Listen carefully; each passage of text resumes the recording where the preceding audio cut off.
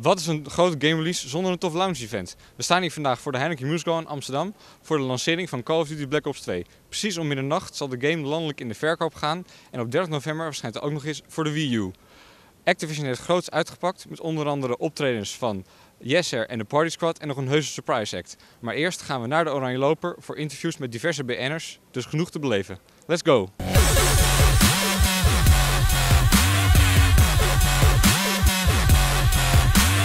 Wat heb jij nou met een game als eh, Call of Duty?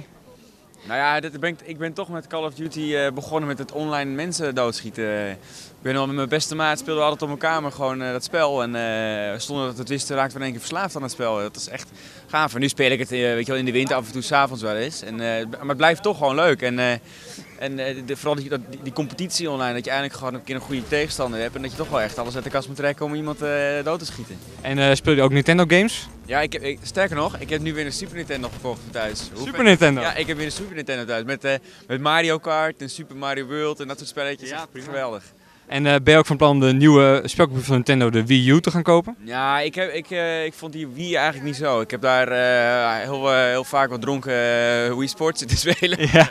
maar nee, ik, ik, ik, weet niet. Ik, toen op een gegeven moment houdt het op en dan denk je nou... Maar de Wii U is wel wat anders dan de Wii. Ja, heb je zo'n tablet erbij, vind ik heel leuk bedacht. En misschien dat het wel heel vet is. En ik ga het al eerst bij iemand anders spelen voordat ik het zelf koop. Maar die, die tijd dat ik elke console heb gekocht en elk spel wat uitkwam, dat is wel voorbij. En uh, ik denk vooral als er nog een nieuwe PlayStation uit zou komen, dat ik die zou kopen. Maar voor de rest denk ik dat ik dat niet doe.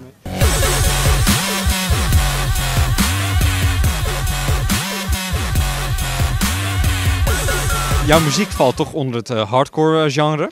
Is het ook een reden waarom jij van deze hardcore games houdt? Uh, nou, hardcore games, als het over games gaat, vind ik uh, van die schietspelletjes eigenlijk toch wel het leukste. Het is lekker agressief. Ben ik van origine niet, maar ik vind het wel spannend. Het is, als je dat spel zit, er gebeurt zo ontzettend veel. Er komt zoveel op je af. Bij Modern uh, Warfare 3 ook dan, dan, zit je in ons spel. En voor je het weet ben je dus weer dood. Dan ik, ben natuurlijk helemaal geen, geen goede gamer. Maar als je dan in zo'n game zit, dan denk je bij jezelf oké, wat gaat er gebeuren, weet je wel. En dan, hup, dan vliegt er eentje om de hoek en je gaat jezelf steeds meer aanpassen. Dus ongemerkt zijn die hardcore games, die zijn zo spannend en je wordt er zo in mee opgeslokt dat je, dat je denkt van ja, wauw, dat is weer anders dan dat je een hele softe game hebt die leuk is. Dat, weet het andere spel weer, uh, Assassin's Creed. Dat speelt mijn zoontje dan ook, maar ja, dat gaat mij te ver met vliegen en onzin, weet je wel. Dat, dat Black Ops is nog wel reëel, dat je denkt van dat kan nog. Daarom Black Ops 2, 2025, volgens mij. Ja. Ja, dat wordt natuurlijk heel wat anders. Dus, en en die, daar gaan we heen. Dus ja, wat komt er op ons afvliegen dadelijk en wat gaat er allemaal dus uh, gebeuren?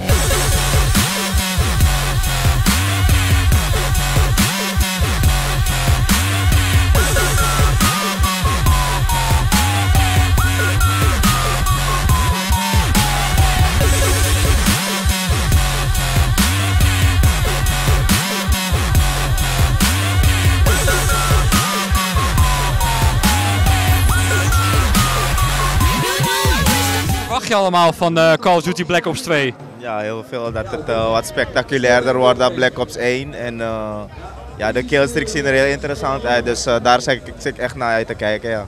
En welke, heb je alle andere Call of Duty's ook gespeeld? Ja. Ik heb tot Modern Warfare 2 gespeeld, Black Ops 1 en ook tot 2 gespeeld, maar toen op de Xbox. En nu overgestapt naar de Playstation. Ben je overgestapt naar de Playstation? En je speelde voornamelijk op de Xbox eerst? Ja, ja, ja. En heb je ook interesse in de nieuwe spelcomputer van Nintendo, de Wii U? Oh nee, ik ben echt een PS3 mannetje geworden. Dus, uh, en ook niet, ook niet als ik zeg dat de Wii U versie heel veel exclusieve features heeft van Call of, Duty 2, Call of Duty Black Ops 2. Zoals dat je de offline multiplayer met je eigen scherm kan spelen tegen iemand anders in de kamer op zijn eigen tv. Vind je dat interessant? Ja, dat lijkt me wel interessant, maar dan wil ik het wel eerst zien en meemaken zelf, om het echt te beleven. En als er nou uh, meer van dat soort spellen, zoals Call of Duty Black Ops 2, op de Wii U zouden verschijnen, zou je dan eerder geneigd zijn een Wii U te kopen? Ja, tuurlijk. Ja? Ik ben altijd in om, uh, om de gaming community te steunen, dus uh, waarom niet hè?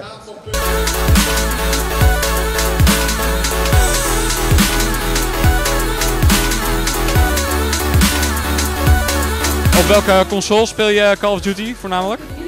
Uh, op dit moment op de PlayStation op de computer. En wel, welke heeft jouw voorkeur? PlayStation. PlayStation, want? Uh, controller is voor mij beter dan uh, keyboard. En lijkt de nieuwe controller van de Wii U jou wat om Call of Duty mee te spelen? Mm, ja, nee, nee. Met het extra scherm en met, extra, met 60 frames per seconde als enige versie. In Full HD. Ja, dat, dat, lijkt- dat op zich lijkt het me wel interessant. Maar ik vind de Wii niet echt een shooter. Eh, de Wii U, de nieuwe. de Wii U zou het kunnen doen, maar op dit moment weet ik het nog niet. Moet ik er nog naar kijken. Ik wil het eerst proberen. Eerst proberen.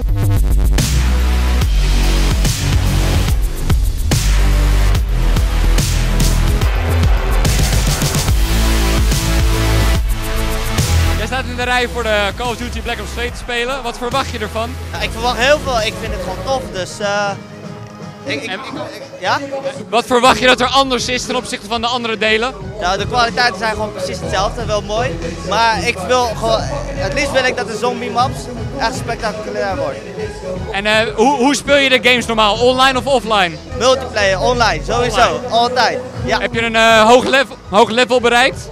Eh, nou, niet echt bepaald. Ik hou gewoon lekker stil. Niet altijd verslavend, maar. speelt gewoon voor de lol. Ja, voor de lol. En voor de En eh, op welke spelcomputer speel je die? Xbox. Xbox. Ja. Heb je ook andere spelcomputers gehad in het verleden? 3, eh, PC, kan wel, maar ik heb liever Xbox. En eh, ook in Nintendo computers, eh, spelcomputers gehad ooit? Jawel, wie, dat soort dingen. Maar ik vind toch Xbox wel wat fijner, ja. En vind je, lijkt je de Wii U wat? De nieuwe spelcomputer van Nintendo? Zeg je? De Wii U, de nieuwe spelcomputer van Nintendo. Eh, nee, ik heb er nog niet van gehoord, sorry.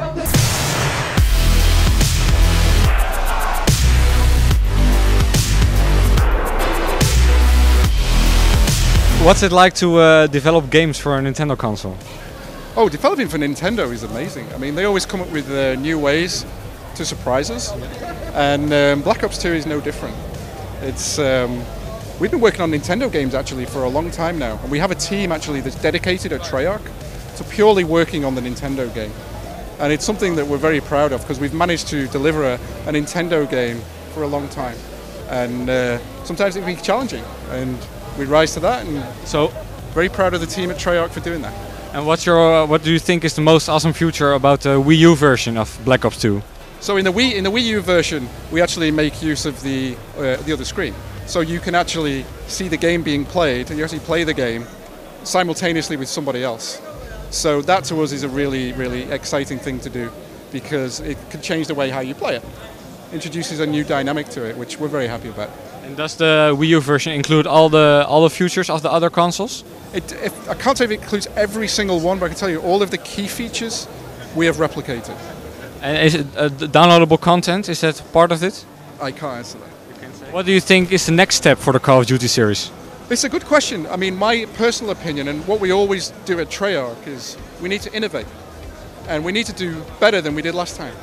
And whatever we Treyarch ends up working on next, we'll do the same philosophy. It needs to be better than Black Ops 2, and it will be.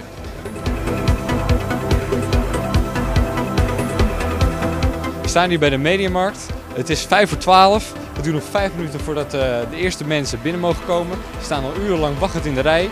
En we gaan zien hoe mensen blij zullen zijn met hun exemplaar van Call of Duty Black Ops 2.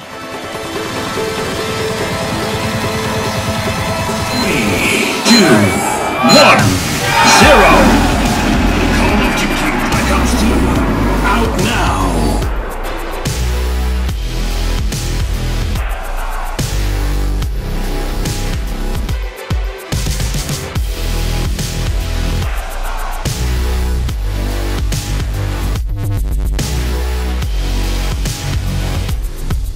Nou, dit was het dan, het Call of Duty Lounge Event in de HMA.